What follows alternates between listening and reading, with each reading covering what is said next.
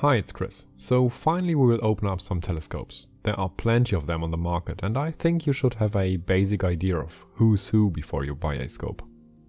We have two categories of scopes. Lens scopes, called refractors, and mirror scopes, called reflectors. Both aim to collect lots of light from a given source so that you can see faint and distant objects. The first big category are the lens scopes or refractors. They use a primary lens with a given aperture to collect the light. The main mechanism behind refractors is the ability of lenses to refract, hence the name, incoming light in such a way that in theory it will be focused on a single point behind the lens. That's for parallel light beams only, but stars tend to have such, so we're safe. The point of focus is called focal point, and the length from lens to focal point is called focal length. So this is the main mechanism, and it's great and simple and stuff, but has one major disadvantage. A lens refracts light depending on its color, so its wavelength. This effect is called chromatic aberration. So unfortunately for us, the path of the blue light is bent more than the light path of the red light. It ends with a situation where you can focus one color of an object, but get aberrations with the other colors. That often leads to multicolor edges when contrast goes high. When observing high contrast objects like moon or stars, that's nothing you want to see. The thumb rule? The lower the f ratio, so the shorter the focal length with a given aperture, the more curved the lens is, and therefore the more significant the chromatic aberration is. So single lens scopes are cheap, but needs to be very long. Long focal length means less curved lens and therefore less chromatic aberration. But thing is, then you will only get f16 or above, so very narrow scopes. In order to solve the problem of chromatic aberration, you then introduce a second lens to compensate for the error and call this an achromatic refractor or a doublet. There you are able to minimize the effect by bringing two colors of your choosing to the same focal point, normally that is blue and red, and you can therefore achieve much shorter focal length, still with a big aperture, so a lower f ratio, without ruining your images too much. Downside? Doublets are more costly than single lens scopes. Either way, one color is still out, normally it's green, so what do we do? We introduce once another lens, then the colors can merge nearly totally, yet not perfectly, on one focal point and we get the apochromatic refractor or triplet. They have a very good optical quality as they bring down all colors to one focal point and hence can be used with an even shorter focal length, I mean f ratio. You can see triplets down to f4 or something. Downside? They are incredibly expensive. Upside? you tend to get beautiful images, so... Whatever. These are the lens scopes. Single lens, achromatic and apochromatic refractors. The second big branch are the mirror scopes, or say reflectors. They use a totally different approach to gather light. They don't refract it, they, you will never guess it, reflect it. And using a curved surface, mostly parabolic, they are able to concentrate all incoming light into one point. Again, this point is our focal point, and the distance primary mirror focal point is our focal length. A cool thing about reflectors? First, mirrors are much cheaper than lenses, and so the diameter of reflectors tends to be much wider than with refractors. Second thing, Reflectors don't suffer from chromatic aberration. They reflect light no matter what the color is, so no corrections needed. Mirroscopes, or reflectors, come in different shapes. Best known as the Newton reflector. This is his, I mean Sir Newton's second scope. It's made from wood and very beautiful, yes.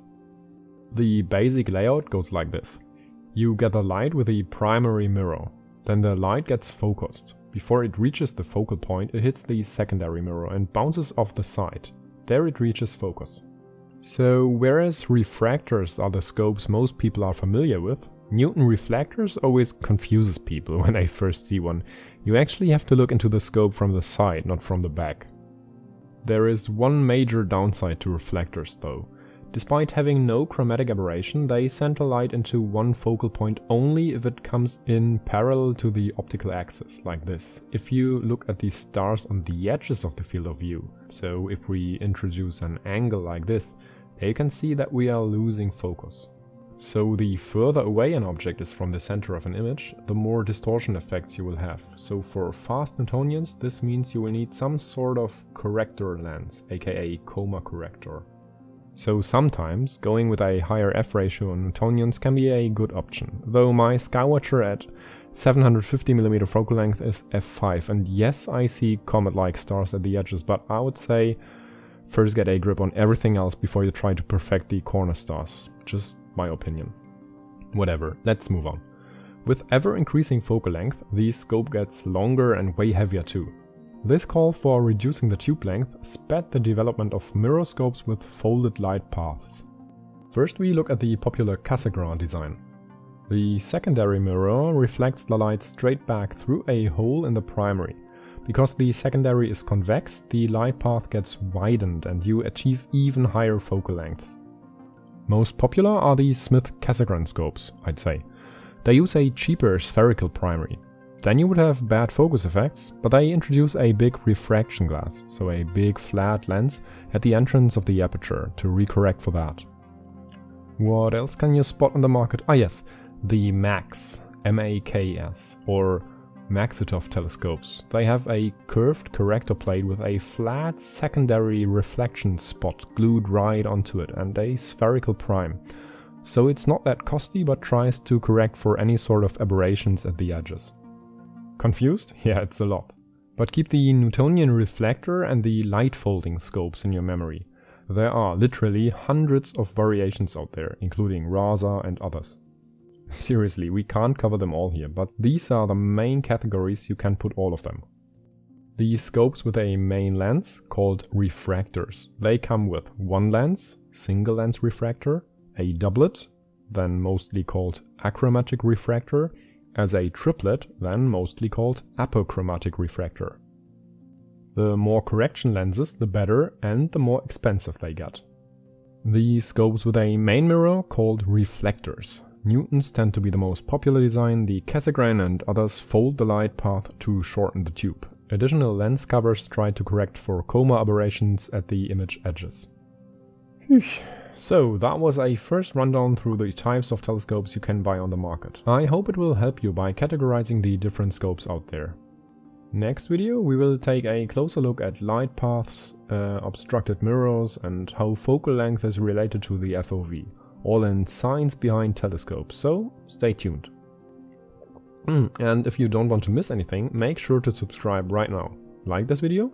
Share it with others for that they may here find their starting point for this amazing hobby or just simply hit like, that's cool too. I want to use the last seconds to give an advice. Don't hurry buying the first scope. Please take your time and, for example, watch these videos or some of the hundreds other videos out there. Read and dig, talk to persons in nice and helpful forums, and then, after you get an idea of the whole, say, field of astronomy, then go and buy a scope. I will cover my first rig in the second chapter of this tutorial, but I might have done things a little different, being today's me back then. And so as always I say, clear skies everyone, until next time here on Catching Photons.